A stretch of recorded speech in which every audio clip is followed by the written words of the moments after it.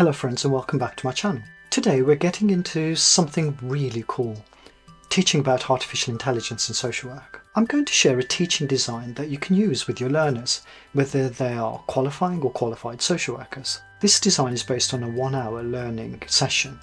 I've used it to help social workers begin to think about how they can use AI responsibly and ethically. Whilst I've based it on a one hour session, please do amend the approaches that I suggest for your own circumstances. So in this teaching design, I encourage learners to use Google's Gemini AI tool to make things more interactive and fun. Make sure that your learners are encouraged to bring their internet enabled devices like laptops, phones, tablets, etc., so that they can use them with Google Gemini in the session. To introduce the session, I would use a hook to grab the attention of the learners. To set the context, I would begin by saying something like Imagine an AI that can help to predict child neglect by analysing case files and identifying patterns that humans might miss. Imagine an AI that can help personalise treatment plans for mental health clients based on their individual needs and history. Or even imagine an AI that can connect people to vital resources like housing or food banks, cutting through bureaucratic red tape. This isn't science fiction, it's the potential of artificial intelligence or AI in social work. I would then move on to talk briefly about AI in various industries to set the context. I would point out that AI is already being used in healthcare, finance and transportation and having a transformative impact. For instance, AI is being used in healthcare to diagnose diseases and develop new treatments. In finance, AI is used to detect fraud and make investment decisions. And in transportation, AI is being used to power self-driving cars. For AI in social work, I would acknowledge that its focus on human well-being and social justice can benefit from AI's capabilities, but only if it's used thoughtfully and ethically. AI can help social workers become more efficient, effective, and equitable in their service delivery. For example, AI could be used to automate administrative tasks, freeing up social workers to spend more time with their clients. AI could also be used to identify individuals who are at risk of falling through the cracks and provide them with targeted support. I would then introduce the learners to an academic article that forms the basis of this teaching. This article is entitled Considering a Unified Model of Artificial Intelligence Enhanced Social Work. I would explain that this is a systematic review of existing research that explores the possibilities and risks of AI in social work. I would use this article and Google's AI tool Gemini to explore the topic in the following interactive way.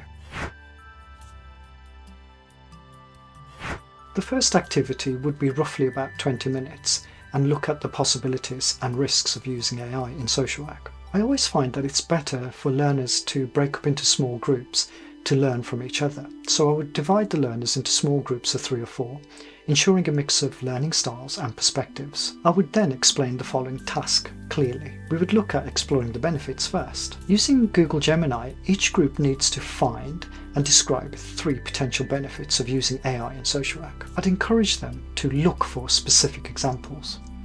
The learners can refer to the pages in the article where the benefits of AI across the profession, social agency, and client levels are discussed. For example, AI can support decision making and allow information to be shared between agencies. Similarly, I would ask each group to identify three potential risks associated with AI in social work again asking them for detailed examples. I'd encourage learners to refer to the pages which cover potential risks associated with AI in the article, for example dehumanization of clients and insufficient research into the use of AI in social work. Then I would encourage them to use Gemini and go beyond the article to explore what Gemini AI comes up with. To do this, I'd ask them to search Gemini to find recent news articles, case studies, or reports about AI in social work looking to broaden their understanding of the topic. I'd then ask the students to use the research tools within Gemini to look at summarising the information they found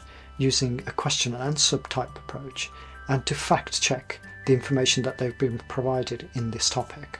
Then we'd move on to a discussion in terms of sharing and debate.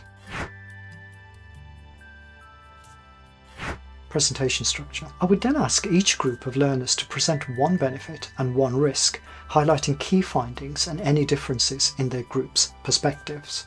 And this can always be fun because looking at different perspectives in the groups encourages real discussion, debate, and learning. I would make sure I prepare some facilitation prompts. Prompts like, well, for example, comparison.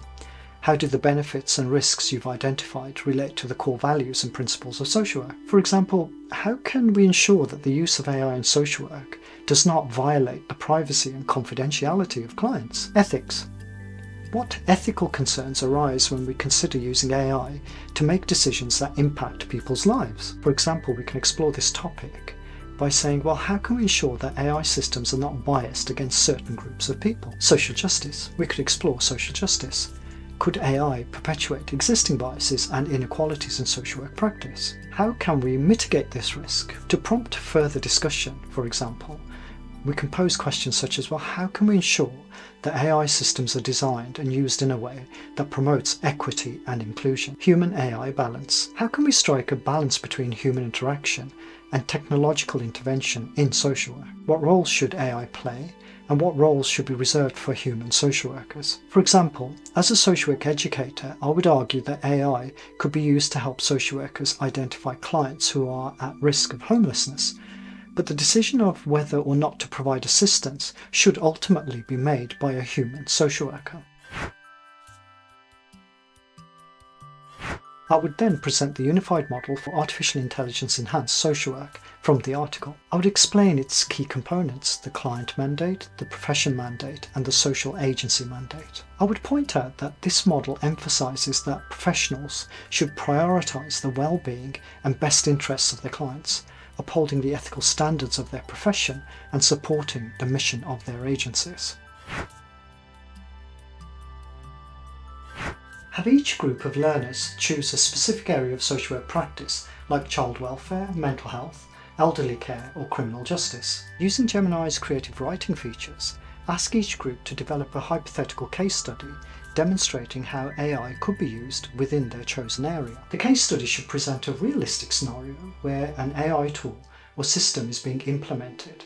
For example, a scenario could involve an AI chatbot that provides mental health support to clients in rural areas who have limited access to in-person services. Another scenario could involve an AI system that helps social workers identify children who are at risk of abuse or neglect. Encourage students to consider the specific AI tool or system being used, how the AI tool interacts with social workers, clients and the agency, the potential benefits, challenges and ethical implications. At the end of the teaching session, I would summarise the key concepts discussed like the potential of AI, associated risks, ethical considerations and the unified model. I would emphasise the importance of staying informed about AI advancements and the ethical debates within the social work field. I'd encourage the learners to subscribe to journals such as the British Journal of Social Work, Child and Family Social Work, and the Journal of Human Rights and Social Work, which are all cited in the sources.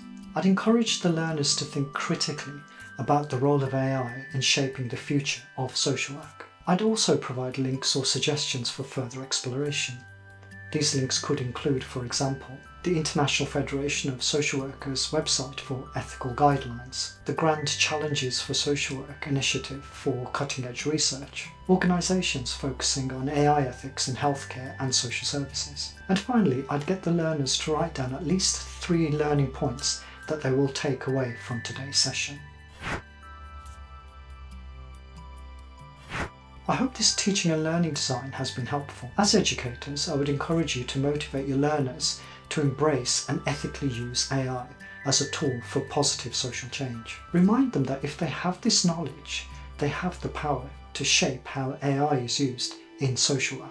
So I've shared this teaching plan for a one hour session, balancing theoretical concepts from the article mentioned with the practical applications in terms of using a tool like Google Gemini in class. Do adjust the timings and the activities based on your students' needs and learning pace. I've also provided a link below to this really insightful article and I would encourage you to read it and apply its messages in your teaching and practice. Well that's the end of this video and as always I'm curious to hear your thoughts on this topic. Do leave a comment below and let me know what you think about the video and the article. If you found this video helpful, Don't forget to like, share and subscribe and hit the notification bell so you don't miss out on any future content. I look forward to seeing you next time. Bye.